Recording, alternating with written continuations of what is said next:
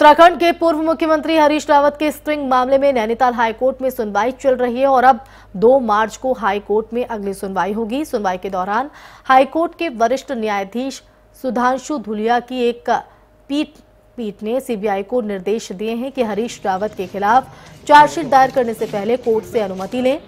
वहीं हाईकोर्ट की एकल पीठ ने हरीश रावत को आदेश दिया है कि वो सीबीआई को जाँच में सहयोग करें। और तब तक हरीश रावत के खिलाफ चल रही सीबीआई जाँच जारी रहेगी। दरअसल 2016 में उत्तराखंड के पूर्व मुख्यमंत्री हरीश रावत पर विधायकों की खरीद फरोख्त का मामला सामने आया था, जिसके बाद उत्तराखंड में कांग्रेस सरकार गिर गई और उत्तराखंड में राष्ट्रपति शासन लागू किया गया।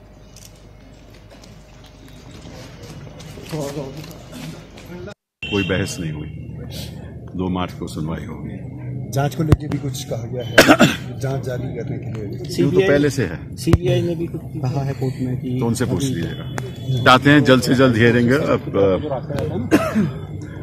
न्यायालय ने कहा कि दो मार्च को हियरिंग होगी।